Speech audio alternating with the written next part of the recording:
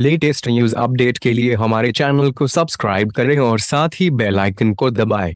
Evil Dead के actor Danny Hicks ने हाल ही में खुलासा किया कि उन्हें कैंसर है वह अब ये चौथी स्टेज पर पहुँच गया है। डैनी के मुताबिक अब उनके पास सिर्फ़ एक से तीन वर्ष तक का ज़िंदगी बचा है। अड़सठ वर्षीय एक्टर ने अपने फेसबुक पेज पर एक पोस्ट साझा कर इस बात का खुलासा किया है। उन्होंने लिखा, उन सभी लोगों के लिए जो मुझे कभी नहीं मिले, वह वो प्रशंसक जिन्होंने मेरे कार्य का आनंद लिया। मुझे कुछ बुरी समाचार मिली है।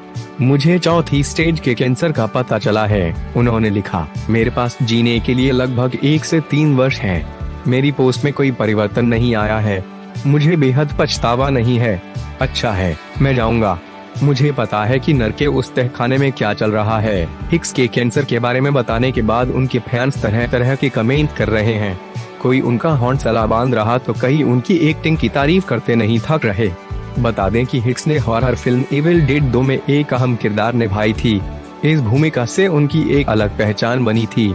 वो स्पाइडर मैन दो व डार्क मैन में भी नज़र आए थे।